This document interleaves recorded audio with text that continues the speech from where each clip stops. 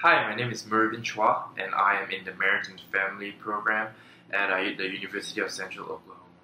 And my name is Sandy Guzman, and I am in the School Psychology Program here at the University of Central Oklahoma. Our video today is going to focus on a brief overview of what insomnia is, who it affects, and what treatment options are currently available.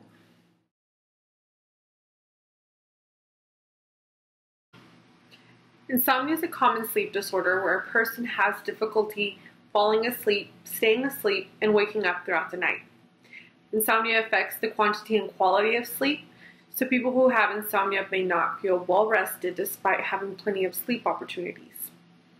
Insomnia leads to a person having daytime problems. Since they're not getting restorative sleep, it can lead to fatigue, problems with concentration, irritability, and health problems, which all lead to problems in a person's social, occupational, and educational life. If you're not able to sleep, essentially you're not able to function properly. Insomnia disorder is the most prevalent sleep disorder. The risk for developing insomnia is relatively stable across the lifespan and it affects about 20% of the general population. So if it takes longer than 30 minutes to fall asleep and it's occurring three nights out of the week, then it's been occurring for at least three months, then it would be important to seek your treatment options. Insomnia can develop for no reason.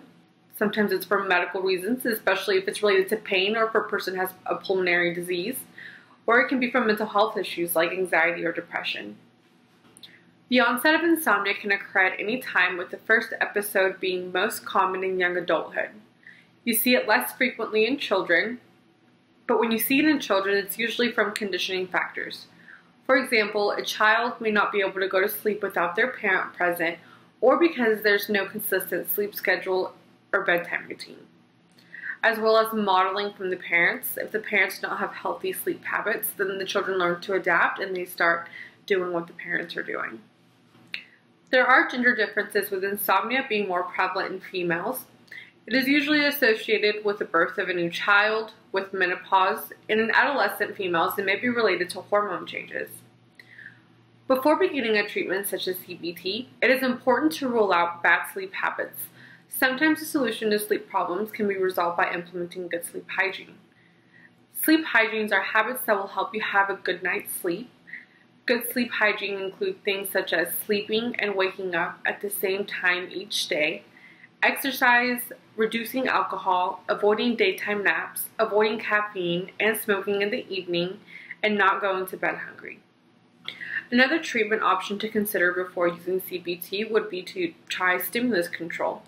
This is where you only use the bed for sleeping. This means that you cannot use your bed to watch TV, to do homework, or anything else. You learn to associate that you only use the bed for sleeping and for sleeping only. You also want to make sure that your room is comfortable, that there's no lights. This means you shouldn't use, you shouldn't keep your phone on you or by you while you're trying to fall asleep because it can be a distraction, especially with the lights and the noise. You want to make sure that you, the room is at a comfortable temperature so you don't want it to be too hot or too cold. And most importantly, make sure that it's dark. If you're not able to fall back asleep, you would want to get up and do something else and not just lay there. So I'm going to be talking about the CBT aspect of uh, insomnia disorders. And uh, so we're going to start with the uh, pre-treatment assessment. And um, in the pre-treatment assessment, I think that it is um, crucial that both the caregiver and the child um, be present. Because the thing about kids, we all know that um, with their brain development, they need lots of guidance and, a lot, and they need lots of um, modeling.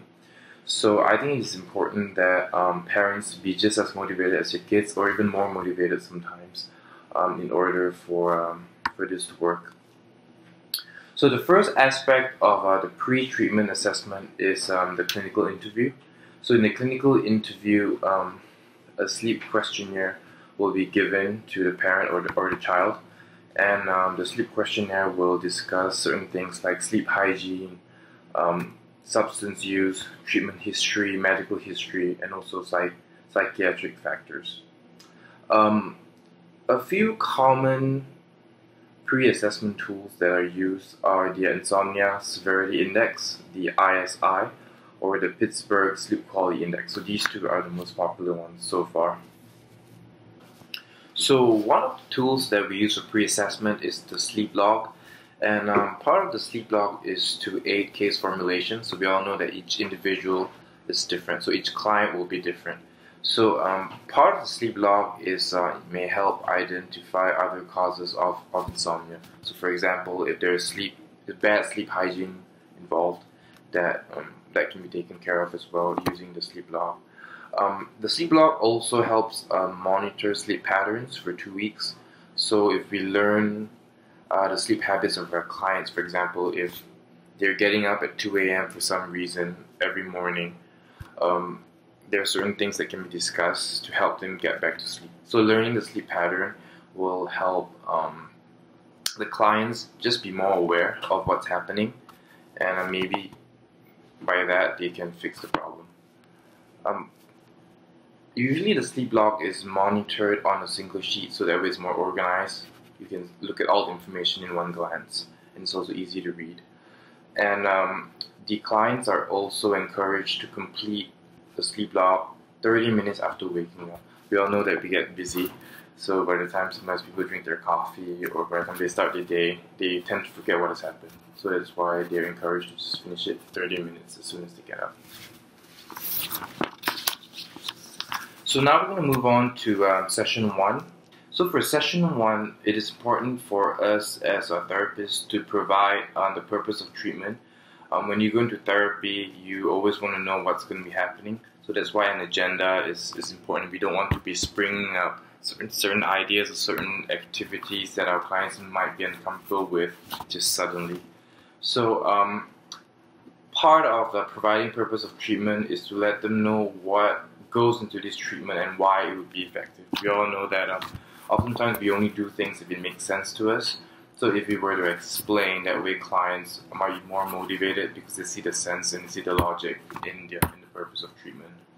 So um, we will also talk about how um, CBT for insomnia is intended to correct the sleep-related misconceptions and sleep disruptive habits that contribute to insomnia.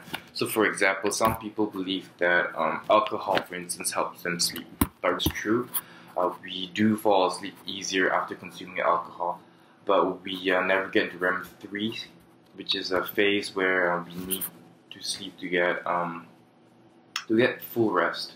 So, by drinking alcohol, we don't go into REM 3, which is deep sleep which is why oftentimes people get up after drinking alcohol feeling really dizzy or they feel like it's not restful.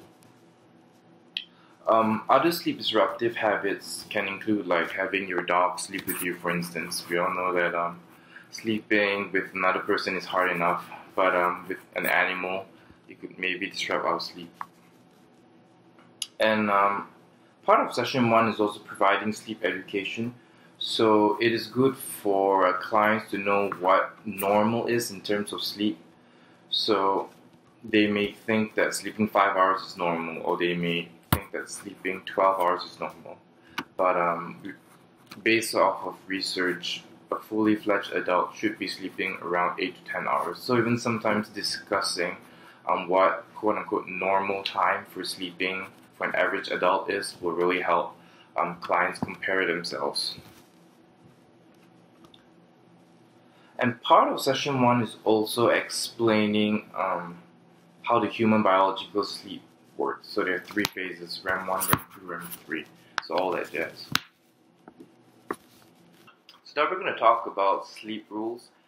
And um, there are six sleep rules that our clients should follow to ensure um, better sleep each night. So number one would be select a standard wake up time. We all have phones, right? Technology has made things like that easier. So set an alarm for um, the same time every day because that way your body knows the exact time to get up every day and, and a routine is set. Number two is um, use the bed only for sleeping. We know that we know that it's sometimes um, comfortable to lay in bed to study or lay in bed to watch Netflix, but uh, research have shown that um, that we should only use our bed for sleeping because that way the brain will associate bed for sleep. So when you lie down, the brain starts to wind down and the brain knows that it's time to go to bed. Um, number three is get up when you can't sleep. So getting up when you can't sleep is important. What people usually do is they lay in bed for hours on end trying to get to sleep. Um, but research shows that um, if you can't go to sleep for 20 minutes, get up, do something because that probably means that your brain is not ready to go to sleep. So get up, maybe do something relaxing, and then try to go back to sleep again. Um, number four is don't worry or plan in bed. Um, a lot of times we keep our brains active because we're thinking of um, the things that have to be done the next day or we're worrying about something and that, that definitely does not help the brain wind down and go to sleep. Uh, number six is um, go to bed when you're sleepy but not before the time suggested. Remember we talked about uh, a sleep routine. So um, just as getting up at the same time is important, I think setting a sleep schedule, so trying to go to sleep at a certain time is important too. And um, that can be done um, using the, the TIB prescription, which is the time in bed. So, what do you use to determine what time you go to bed? Um, first of all, you need to, to determine what time you need to be up the next morning. So, for example, if you need to be up at 6 a.m., um, the amount of hours that you need to sleep will determine what time you go to bed. So, how you do that, you use the sleep diary from the pre assessment, the two weeks um, log that you use, and um, the the way you count it is called the TIB prescription, which is a time in bed. And um, through those two weeks uh, of log that you clocked in, you you count the average total time of sleep time plus plus 30 minutes. Wrapping up session one would probably be assigning homework. Um, one of the homework would be um, to make sure that your client continues to have a record of their sleep patterns, so that means the sleep log. And um, part of the homework is also to make sure that your client actually remembers the sleep rules and also think of ways that, um, that they can implement the sleep rules. And so now we're going to move on to session two. And um, it is important as a therapist for you to recap um, your past session because we all know that um, we all work on different schedules, and so sometimes our sessions may not be on a weekly basis, and sometimes there are also homework that we give our clients that has to be done over a period of time. So it's always important as a therapist to, um, to recap last um, last session to the client, just so the client knows um, that we're both on the same page. And after that, you would uh, probably discuss your homework. So remember the homework that you gave to your client a couple of weeks before or the last session um, it would be good to discuss some of the roadblocks that um, maybe deter them from completing their homework, or maybe ask them um, what were some of the, uh, the, the discouragements that happened. And that way, you can always tweak. Um, if you find out that it's a motivation problem, you can work on that. If you find that um, there's some environmental um, issues that that not encourage them to do their homework, you can also discuss that and um, address the problems. So after you've discussed the homework, you can start um, reviewing the session agenda. So like I said earlier, it is important um, that our clients know the plan of the session, and that way they will know where they are in the treatment. And um, one thing that is important is, is also flexibility. We don't want to be rigid, so rigid in our treatment plan that our clients find really stuck. So um, some um, organize, organization is good, obviously, but also flexibility would be great because we all know that each client is different, so they have different pace. So just letting them know um, what we're going to be doing for this session can just help them gauge where they are. So the first real part of CBT for session two is on discussing constructive worry technique. So what ha- what happens is um, if what if a client is unable to go to sleep because they're thinking of something or something's bothering them, and their brain is active and just won't let them go to sleep. So, which is why we'll be talking about um, discussing the constructive worry technique. So, there are five steps to it. And um, step one is um, there's a sheet of paper that, under concerns, they can write down the biggest problems that, that are most likely to keep them awake at night. So, let's do an example. Um, let's say it's a teenager needing money to go to a concert so step two be thinking of potential solutions to help fix the problem. Um, we have to also remind our clients that it might not necessarily have to be the final solution. We all know that problems all work in steps. So um, just writing down potential solutions, even if it's the next step to helping solve the problem, will will help ease some of the uh, the problems. Um, so, for example, we talked about a teenager wanting to go to a concert but not having money, for instance. So a possible um, small solution would be thinking ways to earn money. So it could be maybe doing extra chores or uh, babysitting or even limiting unnecessary spending like Starbucks. We all know that we spend sometimes too much money on coffee. Um, number three would be uh, repeat this for other concerns. So if um, the teenager has other problems that's bothering them besides um, the money problem for the concert, they should also list the same steps. And um, the last thing um, for that step is an important one is to actually fold up your paper after you've done with it and leave it alone. Um, sometimes we tend to still obsess, so we I know that it's hard to do that, but a client should um, should be encouraged to after writing all those things down to fold up the paper, put it away, and actually try to go to sleep. So what happens if, despite even after putting your paper away, you still worry? Um, one of the steps is to uh, just remind yourself that um, you have dealt with part of the problems or you actually have a solution. Um, remind yourself that you can be working on them tomorrow. And um, the third thing would probably just logical sense and just telling yourself that um, there's nothing much you can do while you're tired. So it's better to get some sleep so that tomorrow you can be ready to seize the day. So part of the CBT treatment for insomnia is also um, using thought records. So um, thought records are intended to restructure negative thoughts about insomnia. Um, sometimes we don't realize that um, our thoughts actually impact um, our sleep pattern. So for example, um, if I'm going to bed worrying that I won't be able to go to bed, um, what are the chances of um, self-fulfilling prophecy happening? So um, there are a few aspects to the, uh, the thought records.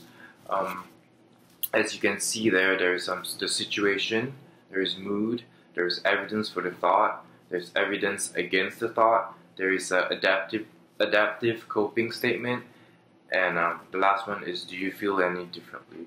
So under situation, you would put um, things like what were you doing when the when the thought occurred? Um, where were you? What what was the environment? Sometimes you may find that um, if you do this enough, you may find a, a theme that, um, for example, um, it may be that, that a client um, could not sleep because they watched a, a movie about a Grinch, for example, um, in their childhood and so now every time um, they watch another movie that reminds them of that, that automatic thought comes up. So on the situation, um, th- that would help the client be aware of um, what they were doing when the thought triggered. If you do these things um, enough, sometimes you find a theme. For example, um, maybe a certain music, certain type of music, brings up an automatic thought because of something that happened in the past, or maybe a certain smell or maybe just anything in the environment. So um, by using the thought record, sometimes clients are able to identify certain triggers that bring up the um, the negative thought that may be helping them not sleep. Second part is the mood. So what were you feeling when the negative thought entered your mind? Were you happy? Were you sad? So just list that down. So thought records are also used as part of CBT in insomnia. And uh, what these thought records is mainly for is to help clients who have negative um, these beliefs about insomnia to help cope with them. So, for example, um, if someone is worrying about not being able to go to sleep at night, um, what are the chances of them actually not going to sleep that night because they're too worried, they're too busy worrying about it, self fulfilling prophecy. So, um, the thought record is to help clients um, reframe, if you will, um, negative the negative thoughts or beliefs. So number one would be um, situation, where um, they would list down um, when the negative thought happened, um, what were they doing, what was the environment. Sometimes you may find that uh, they might have a, a subconscious um, trigger that, that they did not realize that the environment had something to, to do with. Number two, what was their mood? Um, do they tend to get more uh, negative thoughts when they're sad or maybe when they're happy? So it just depends. Stressful times, especially, um, are known to trigger automatic negative thoughts. And then number three would be um, what are the thoughts themselves? It could be um, things like, I will never be able to go to sleep at 11. So with thoughts like that, like I talked about self fulfilling prophecy, um, with thoughts like that, um, they may eventually not even be able to go to sleep because of that. The third column is thoughts. So, what are the actual negative thoughts that came in? So, writing them down will be important. Um, many clients they tend to um, to go for the all or nothing approach, and they use strong words like always or never. So, things like I never go to bed at eleven, although I try, or I'm always sleeping late. So, all those things. Um, writing those down can help give a, a perspective to the client and uh, as therapists you can start reframing those those thoughts um, the next one would be evidence for the thought so for example the example i used earlier was um, i can never go to sleep at 11 is it really true though um, some therapists can can question your client. You know maybe they they just started not being able to go to sleep at 11 but saying that they have never ever ever gone to bed before 11 seems a bit of a stretch. And um, number the next one is um, evidence against the thought. So again the client can say you know surely when you were a child or surely maybe five years ago um, before a certain stress happened or before a certain event happened you were able to, to sleep so um, that helps the client um, visualize a chance for them to change because the thing about it is if if the clients um, are stuck in the belief that they cannot change or something cannot happen, the chances of change is very slim. And then um, the next one would be adaptive, adaptive or coping statement. So that's when you work with um, the client to do self-talk. So that can be um, calming themselves down, can be meditation, can be telling themselves, okay, uh, I need to calm down and um, I need to go to sleep and actually try to go to sleep. And then the next one would be um, do you feel any differently after um, completing all this? Because that will help the client. So the adaptive and the uh, coping statement is basically what you can tell yourself to help yourself go to bed. And then the last one is um, do you feel any differently? So acknowledging how you feel after doing the process will um, will help you figure out whether this method is working or if something else needs to be done.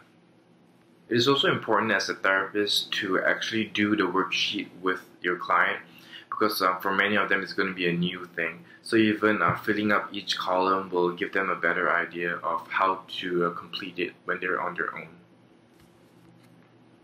So after sessions one and two, the rest of the sessions are just pretty much um, follow-up sessions. So in those sessions, you'll be um, discussing maybe certain roadblocks or environmental, other environmental factors that uh, that may deter the uh, client from sleeping. Or uh, you might also um, readjust the TIB, the time in bed prescription. So, for example, if they did do it and uh, they then and they have been following it, and um, apparently seven hours for them is not enough. So that's when you would adjust it and you encourage them to try eight hours, and uh, to see if um, that amount of hours slept, the new number of hours slept, is uh, is enough for them. And then um, last one is probably just to encourage and reinforce um, treatment. Let your client know that um, progress is progress, no matter how small, and that it should be celebrated. we know that sometimes it's easy to get discouraged because we want um, results right away, but we know that it's a longer process. So even talking them through it and even encouraging them on a weekly basis, um, raising their morale, and also building the therapeutic relationship is also really important to make sure that um, your client is able to successfully change.